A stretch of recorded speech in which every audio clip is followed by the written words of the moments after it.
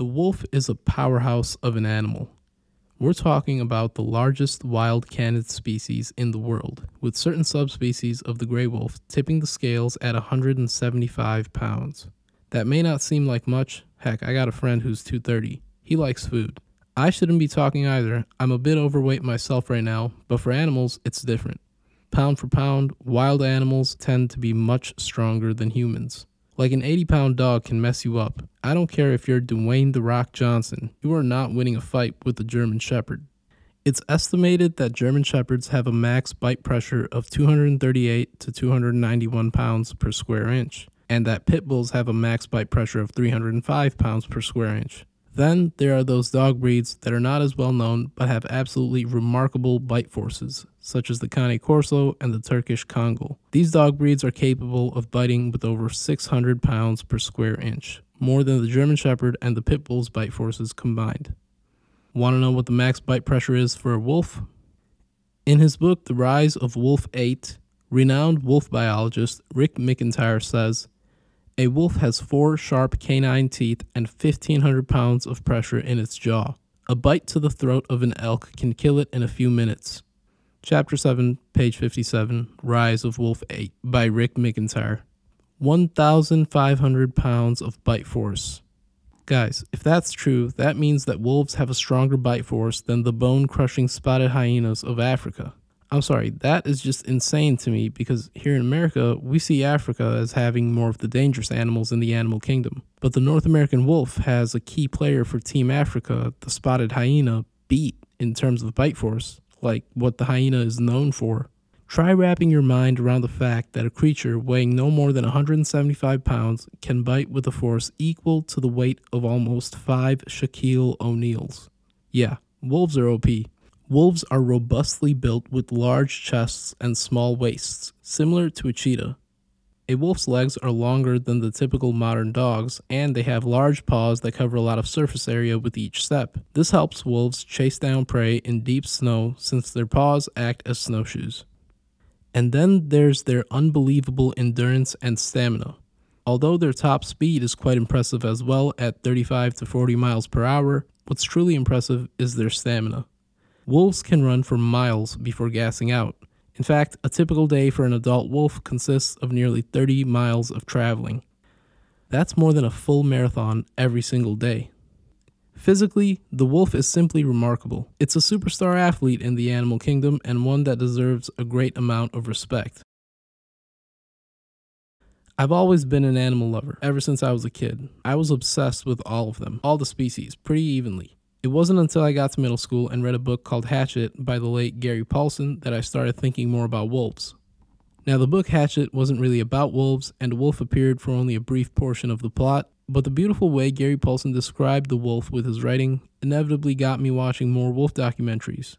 BBC documentaries, National Geographic documentaries, wolf videos on YouTube, and I began reading nonfiction books about wolves. Wherever I found information on wolves, I would absorb. They just seemed so cool, so badass to me, I couldn't get enough of it. Since then, I've come into contact with real wolves a handful of times. Actually, all of those incidents occurred last summer, Last summer, I went on a solo road trip that lasted for 62 days, and I cover that in great detail in another video on my channel, so go check that out if you haven't already. But throughout my travels, I've seen wolf pups at animal parks, heard wild wolves howl in the distance, came face to face with them at wildlife centers, and even cuddled and played with them at an animal sanctuary in Washington state. Outside of the real world experiences I've had with wolves, I lost count of how many wolf documentaries I've watched and how many wolf books I've read. Jack London's Call of the Wild and White Fang were two books that have highly impacted me, as well as Never Cry Wolf by Farley Mowat. This book did a lot to shift humanity's perception of wolves toward a more positive light, and I'm currently reading American Wolf by Nate Blakeslee.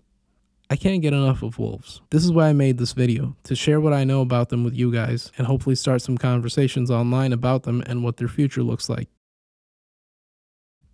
The color of a wolf doesn't dictate whether or not it is a gray wolf.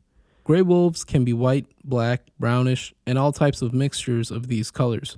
The name gray wolf refers to a species of wolf. The Latin name for the gray wolf is Canis lupus, and they are the largest species of wolf as well as the largest wild canid species in the world. The other species of wolves alive today are the red wolf, Canis rufus, and the Ethiopian wolf, Canis simensis.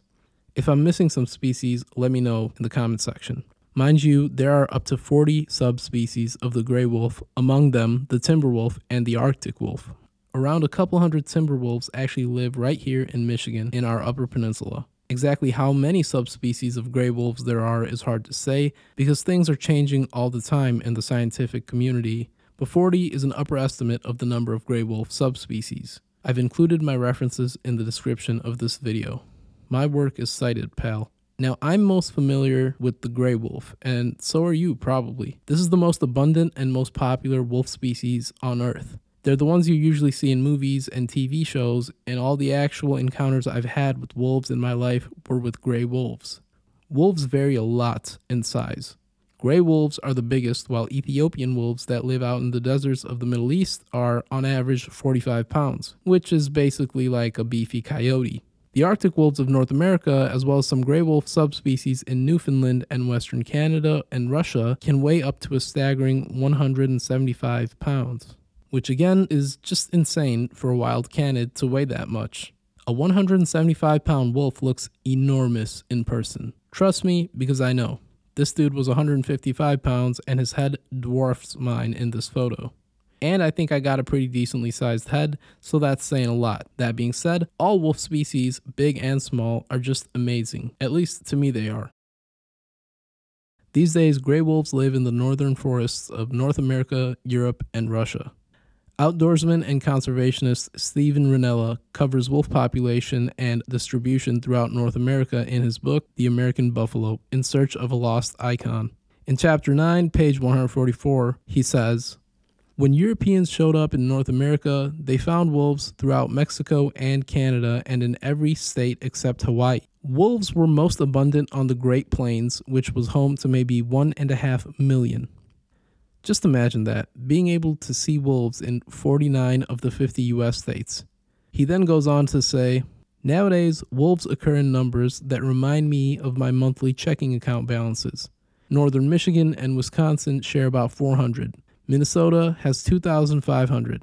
Idaho has 200. Wyoming and Montana have about 250 wolves between them. Further down this paragraph, Steven Rinella also says, Canada has somewhere between 52,000 and 60,000 wolves, which occupy 90% of their historic range in that country. And lastly, Rinella mentions in Alaska, which has a healthy and stable population of 6,000 or 7,000 wolves, the predators still occupy their entire historic range.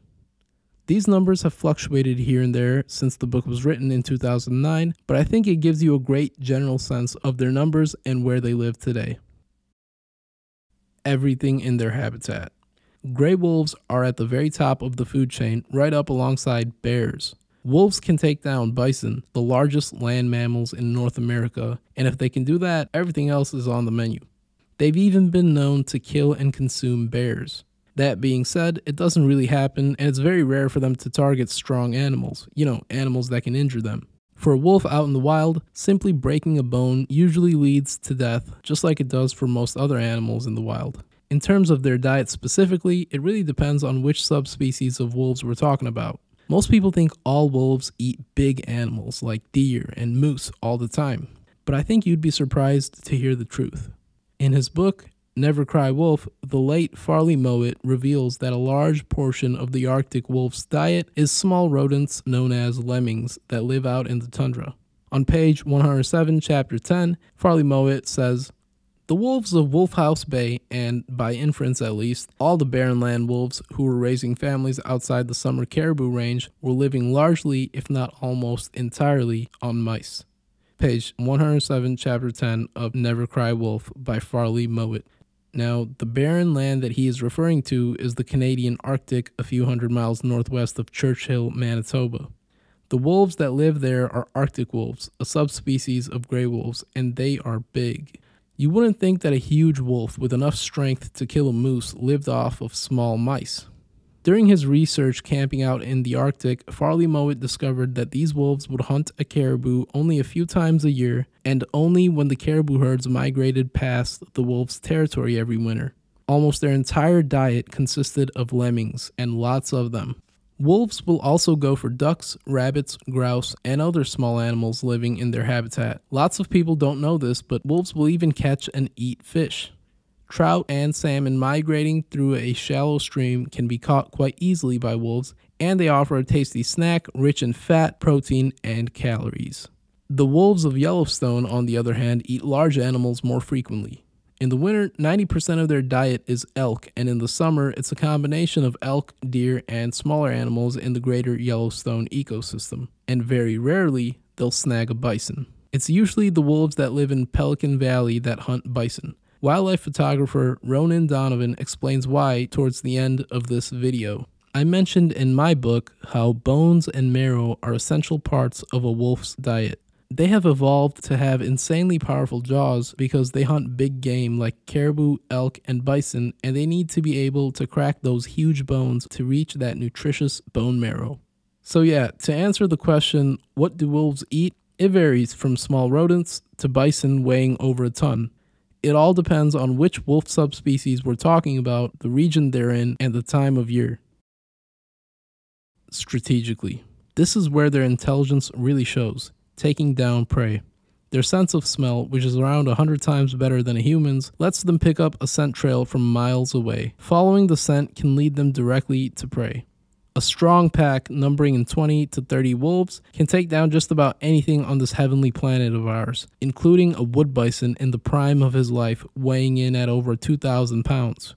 When attacking large, healthy prey like a bull bison, the wolf pack's goal is to first get it on the run. At the same time, they'll try to lead the bison away from the protection of his herd. Once they've successfully done that, they will lead the one ton beast to exhaustion by surrounding it and launching attacks aimed at its rear. This causes the bison to repeatedly spin around as fast as it can to avoid having the vulnerable, soft flesh of its rear end be clamped down with over 1,500 pounds of bite force. This is what the wolves want to get the prey to move continuously for hours in countless attempts to defend itself. The bison will burn a lot of energy if this keeps up.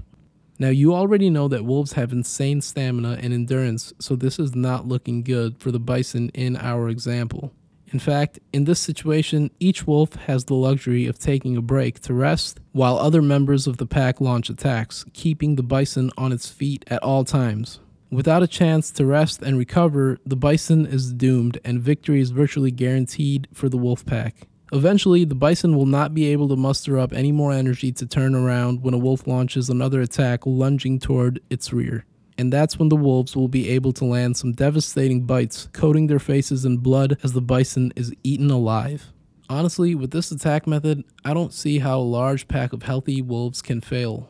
The hard part for the wolves is getting an individual animal separated in the first place. Not an easy thing to do with healthy prey. Healthy animals tend to be mixed in well with others of their group, unless we're talking about moose, which tend to be solitary. Wolves will eat moose too if the pack is strong enough, but anyways, this is why wolves, even the ones part of a large pack, generally go for young, isolated, sick, old, and or injured prey. A wolf without a pack, on the other hand, will have a much harder chance at taking down megafauna like the bison in our previous example. I mean, can you blame it? A 2,000 pound bison is over 11 times the weight of a big gray wolf. The UFC has precise weight classes, usually separated by a range of just a few pounds per weight division, so it's pretty obvious to see that one wolf versus one bull bison will almost always lead to a dead wolf. This is why lone wolves have a harder time getting through life, as it is much harder for them to find a sufficient amount of food in the wild. They try to get by by hunting birds, small rodents, beavers, and deer. Sometimes a single wolf can take down an elk by snapping its jaws shut on its throat and refusing to let go until the elk either suffocates or internally bleeds to death, or both. Even after a lone wolf has successfully made a kill, it isn't always guaranteed that it will be able to eat it because it's really easy for an adult bear or a different pack of wolves to drive off a single wolf from its kill. It's a harsh reality, but it's just how things are in the life of a lone wolf. At the end of the day, a wolf belongs in a pack. Even pairing up with humans is usually a better option for a wolf than trying to do it all alone in the great and vast wilderness. You probably know that all dog breeds, from Chihuahuas to Great Danes, can all have their origins traced back to the wolf, specifically the wolves of the Pleistocene epoch. There's still a lot we don't know about exactly when and how we domesticated the wolf, but as of now, we think it's somewhere between 18 and 13,000 years ago. Domesticating wolves is not something that can be done with a snap of fingers. The entire process probably spanned hundreds, if not thousands, of years of trial and error. The wolf was the very first animal humans domesticated, and initially it was a commensal pathway to domestication, meaning an animal benefits by interacting with humans. Wolves made the first move, approaching human encampments for scraps of food. Eventually, those early humans found out that the wolves provided them with protection. With their enhanced senses, they could detect intruders way better than humans. They also provided humans assistance in hunting and tracking game. They even helped us domesticate other animals. And last but not least, they provided us with companionship and love. In return, we offered them food and shelter and some love ourselves. If you want to get a deeper sense of how the domestication of wolves may have occurred, you got to read White Fang and Call of the Wild by Jack London, two marvelous, marvelous novels. But eventually, another subspecies of the Pleistocene wolf was developed. Canis lupus familiaris, the modern dog. I always thought modern dogs were a subspecies of the gray wolf. However, in this video, PBS Eons says that they are actually descendants of a wolf species from the Pleistocene epoch that is now extinct. So yeah, wolves initially came to our ancestors for food. Our ancestors began keeping them around and involving them in their lives. An unbreakable bond was formed, and the rest is history. The story of the wolf in North America goes as follows. Prior to European settlers arriving in North America, the entire continent was filled with wolves. The European settlers came in and quickly pushed large herbivores to the brink of extinction, taking away the wolves' main source of food. This left wolves with no other option but to try and survive by hunting livestock belonging to these same settlers, which further increased human hatred toward wolves on the continent. By the mid 1930s, wolves were on the brink of extinction themselves. In 1944, Aldo Leopold, known as the father of wildlife ecology, was the first to suggest reintroducing wolves into Yellowstone National Park, but the government refused. By the late 1900s, wolf populations began to climb back up. Education programs started and conservation laws were enacted. Books like Never Cry Wolf by Farley Mowat also helped significantly change the public's perception of wolves. In 1995, the groundbreaking reintroduction of wolves into Yellowstone National Park occurred. A team of biologists captured wolves from Alberta, Canada, and within a few years, the wolf population stabilized throughout the park. The presence of wolves in the greater Yellowstone ecosystem literally brought it back from the dead. The park had really suffered without wolves plants had been overgrazed by elk, whose populations skyrocketed along with various other consequences. The reintroduction of gray wolves into Yellowstone National Park solved all that. It was a monumental event in the world of human and wildlife relations and one of the greatest success stories in all of conservation history. If you want to know more about it, I highly recommend reading The Rise of Wolf 8 by Rick McIntyre, one of the greatest biologists to ever live, in my opinion. What's crazy is that in the early 1900s, the people who killed the wolves in Yellowstone National Park in the first place were the Yellowstone National Park park rangers. It was a government order.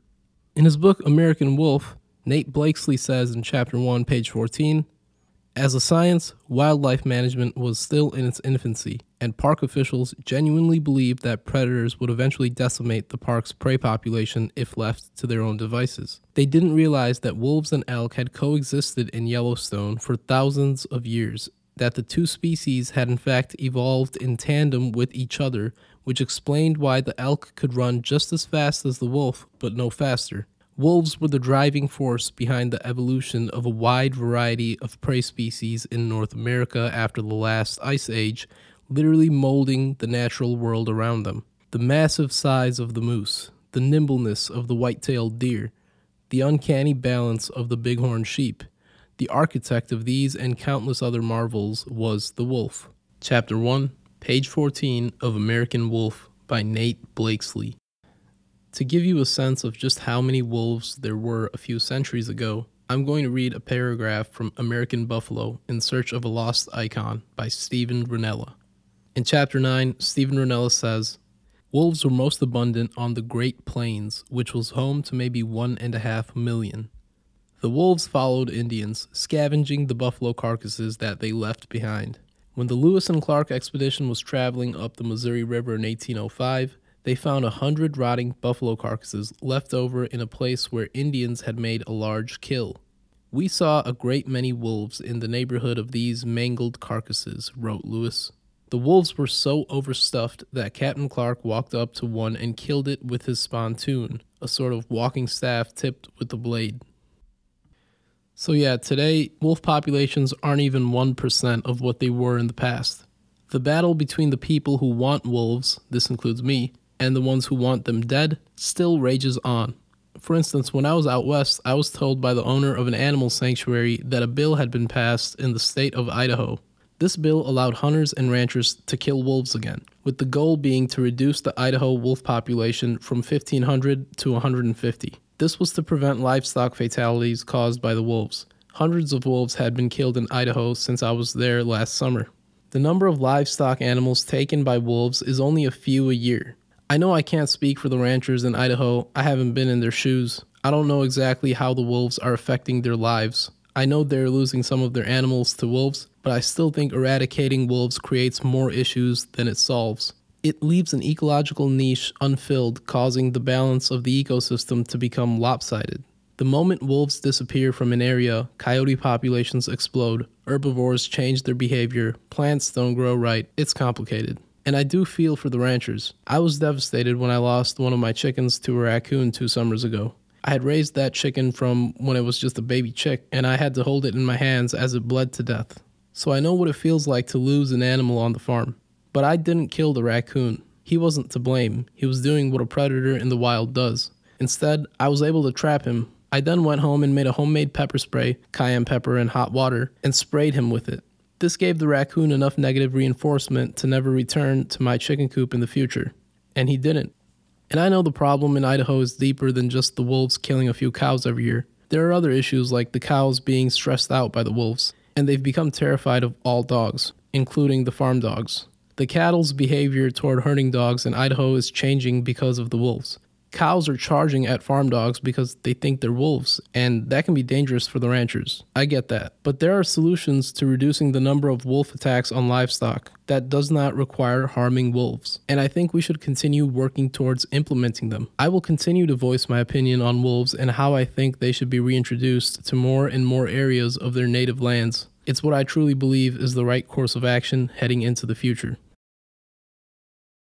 Are wolves dangerous? Uh, yeah, just read the first three chapters of White Fang by Jack London. But just because an animal is dangerous doesn't mean we need to go out and start killing them. In fact, according to renowned wolf biologists Jim and Jamie Dutcher, wolves are naturally very shy toward humans. Now, this is true for the wolves living in Idaho. That's where Jim and Jamie did their research. It may not be true for wolves in other regions. I know the wolves of Western Canada and Alaska can be aggressive toward humans. But again, this isn't a reason to go out and start killing them. Polar bears are dangerous, tigers are dangerous, and conservation efforts are working around the clock to keep their numbers up. And that's because if these creatures go extinct, not only will it be yet another shameful biological catastrophe caused by humans, there will be a significant drop in biological diversity in those areas. This will lead to some heavy consequences in the ecosystem that will have a domino effect, which will eventually find its way to affecting humans. Without natural areas, we can't produce nutritious, chemical free, carcinogen free food. And if we can't do that, all sorts of diseases will skyrocket and mass starvation will occur. We should not reduce biodiversity further by killing wolves, a keystone species, in areas they belong in. A wolf can kill you, but it most likely will not even head toward your direction. Also, considering that humans have ruthlessly cut their numbers down to like less than 1% of what they were in the past, I think more than enough of them have been killed already. These are the books I pulled information from to make this video, if you want to add them to your reading list. So yeah, I guess that just about wraps it up. If you found this video on wolves to be interesting, check out this video I made where I narrate a story from the indigenous peoples of the North American Arctic. It's centered on the benefits of wolf predation and natural selection, but it's presented so beautifully, I found it to be quite eye opening. It's from the book Never Cry Wolf by Farley Mowat, and the first time I read it, I got goosebumps. It's an amazing tale about the natural world. If you guys have more questions on wolves, leave it in the comment section and I'll answer it for sure. And uh, let me know what more you want to know about wolves or any other animal species for that matter. And I'll do the research, I'll read the books, and I'll try to make a video about it. Alright, guys, thanks for watching, and remember, keep it wild.